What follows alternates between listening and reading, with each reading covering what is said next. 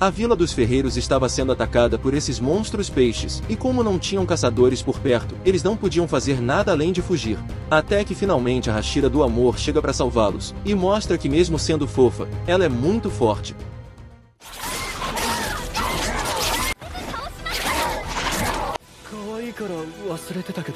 可愛いから忘れてたけど強いんだよな柱って